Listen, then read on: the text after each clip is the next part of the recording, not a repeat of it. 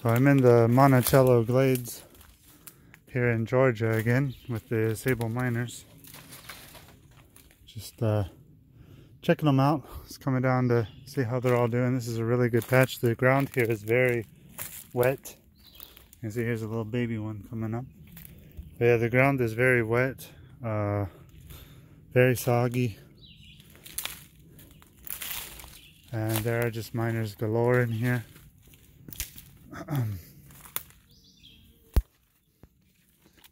Lots of little wildflowers too.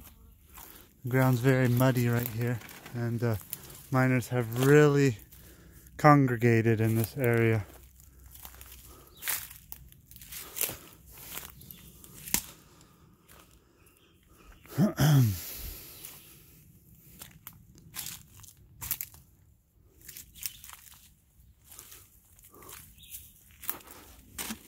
this ground is very, very soggy.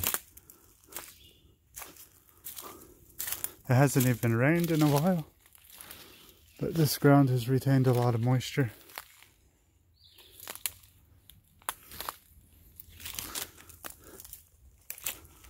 And there are just Sabal Minors everywhere.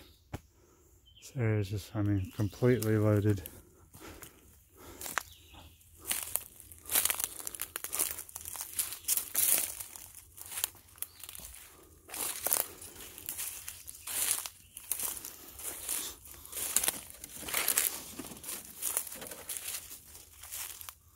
I mean, this is nothing but Sabal Minor here.